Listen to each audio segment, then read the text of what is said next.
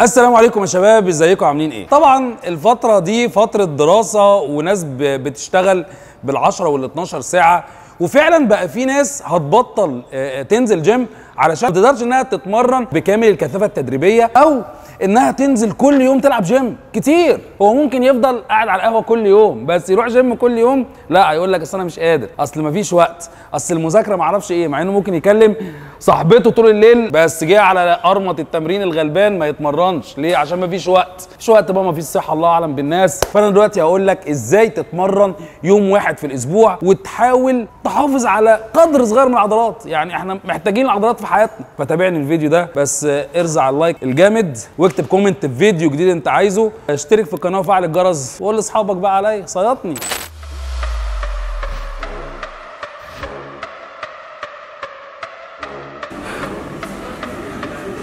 ما تستنفعش ما تقولش كفاية. ما تقولش خلاص.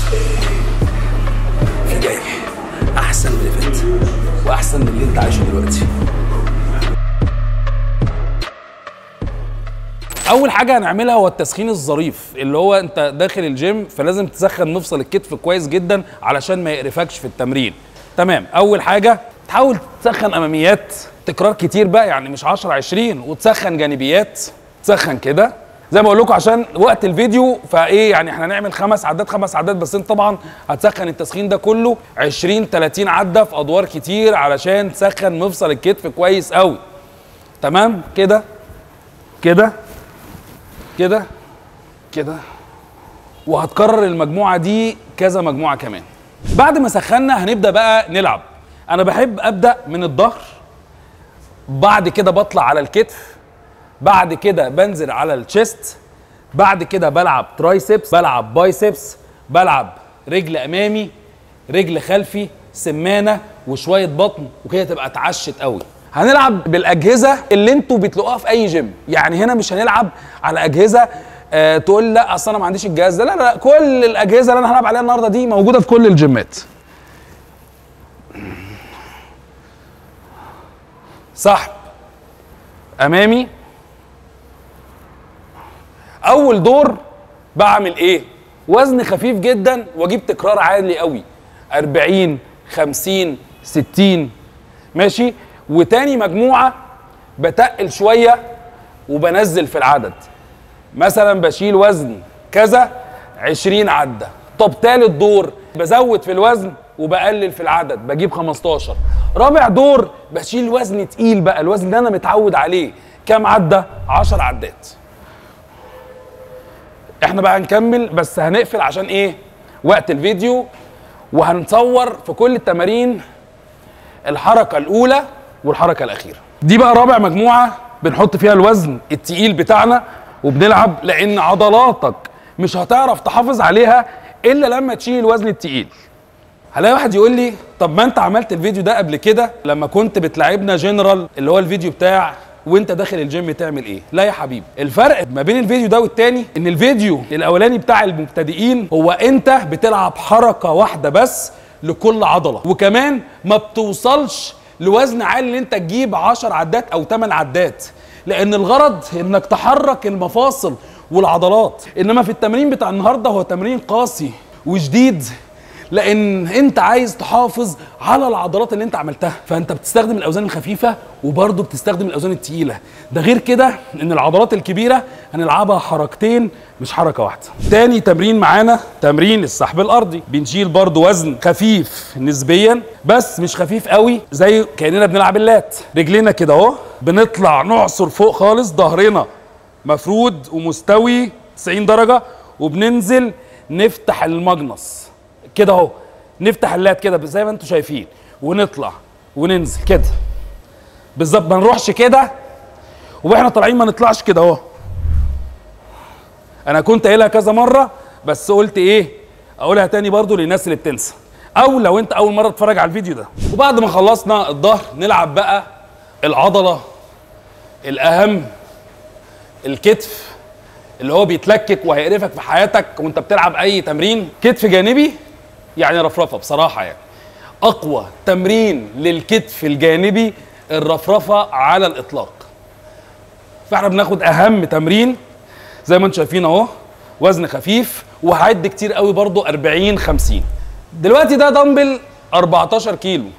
ما بحبش أغامر في الرفرفة الجانبي خالص. و14 كيلو يعني حاجة كويسة يعني. بس أنا بحب ألعب بأداء كويس وزن معقول أحسن ما العب بوزن تقيل واخرب في الأداء ألاقي نفسي اتصبت وما استفدتش. دي بقى الحركة التانية للكتف أمامي زي ما أنتم شايفين.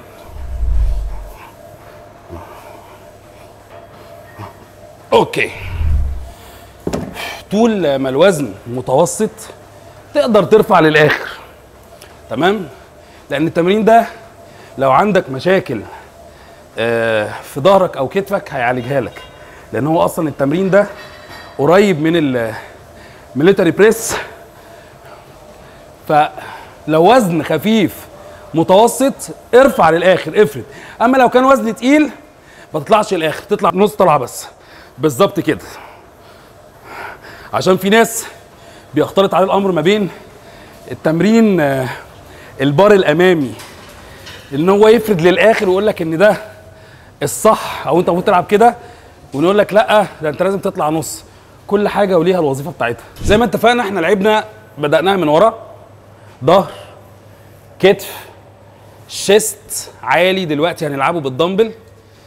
وهو ده الأداء الصحيح اللي ما تلعبش غيره. سواء في وزن قليل أو وزن تقيل.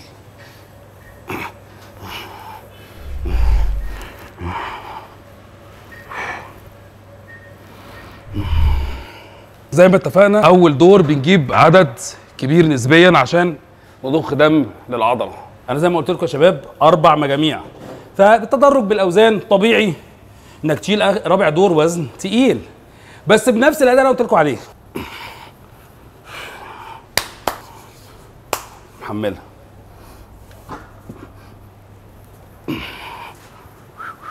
نرفع. اليمين. الشمال. يلا.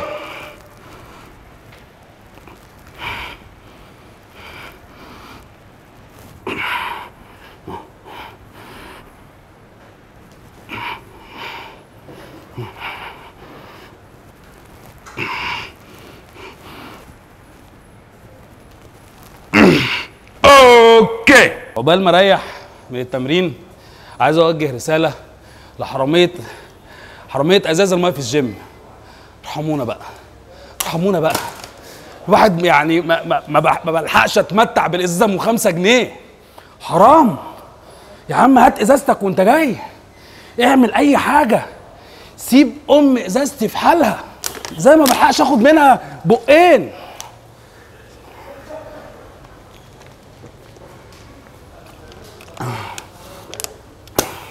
bar flat. أوه.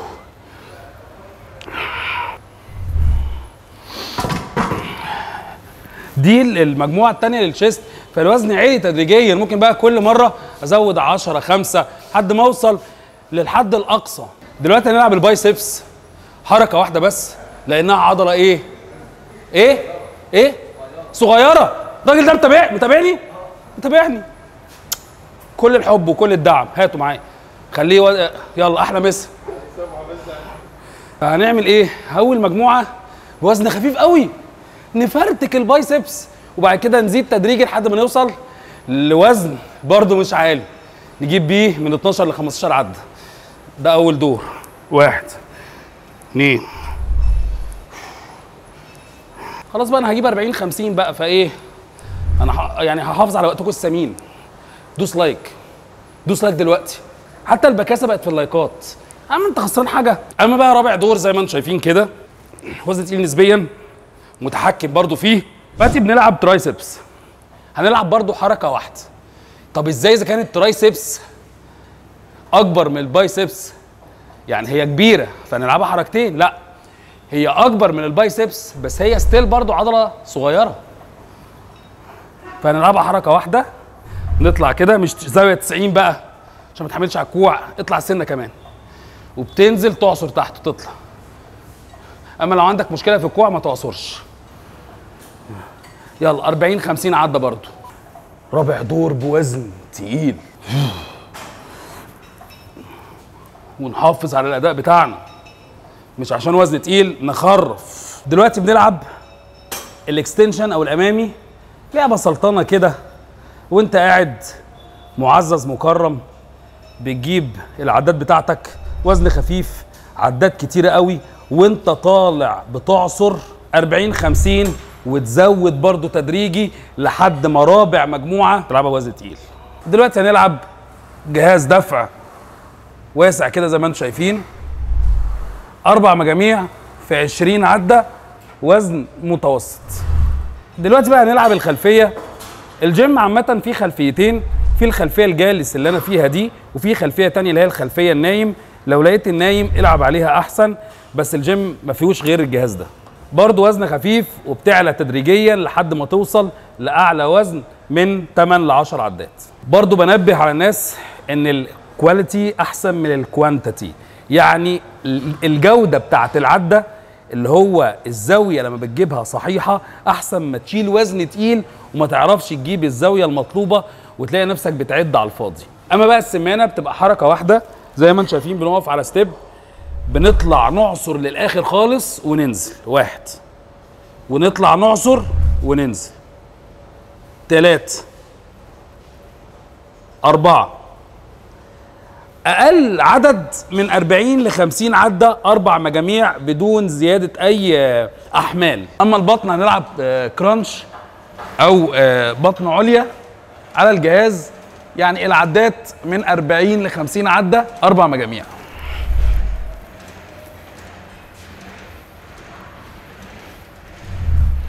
تمرين لعضلات البطن السفلى أربع مجاميع من 15 ل 25 عدة في المجموعة الواحدة. وكده لعبنا جسمنا كله في يوم واحد. لو تقدر تيجي الجيم يومين في الأسبوع تلعب بنفس الأداء ده تمام؟ هتحافظ على العضلات اللي انت عملتها. لو ما تقدرش هو يوم واحد. وما اعتقدش ان انت ما عندكش يوم واحد في الأسبوع ساعة ونص ولا ساعة تقوم بيها بالتمارين دي، لا هي ساعة ونص. تمام بالظبط تاخد منك ساعة ونص. هلاقي حد بيقول لي طب انت في حاجات ما لعبتهاش، السواعد ما لعبتهاش، ال wrist، خلفية الكتف، ترابيس، دي كلها عضلات مساعدة بتشتغل في عضلات تانية، يعني وأنا بلعب السحب الأرضي شغلت معاها خلفية الكتف، وأنا بلعب bi شغلت الساعد وال wrist، اتمنى تكونوا استفدتوا من الفيديو، عجبك الفيديو like و share وما تنسوش تشتركوا في القناة. وتفعلوا الجرس وأي حد عايز يسمع معايا أونلاين ابعت لي على الإنستجرام أو على الفيسبوك. كان معاكم رامي عادل. السلام عليكم